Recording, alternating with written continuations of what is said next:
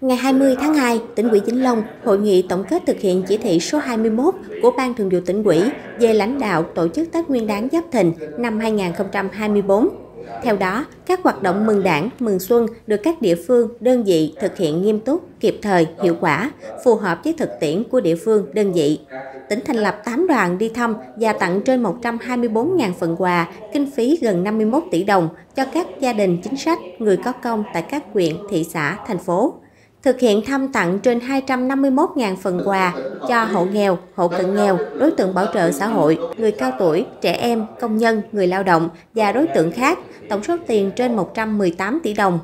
Bên cạnh, các doanh nghiệp tổ chức 116 điểm bán hàng bình ổn với tổng giá trị khoảng 344,5 tỷ đồng. Qua đó, góp phần đảm bảo thị trường, nhất là hàng hóa thiết yếu trước, trong và sau Tết ổn định, chất lượng, đáp ứng nhu cầu tình hình an ninh chính trị và trật tự an toàn xã hội được giữ vững ổn định. Hoạt động văn hóa nghệ thuật được tổ chức trang trọng, được nhân dân đồng tình.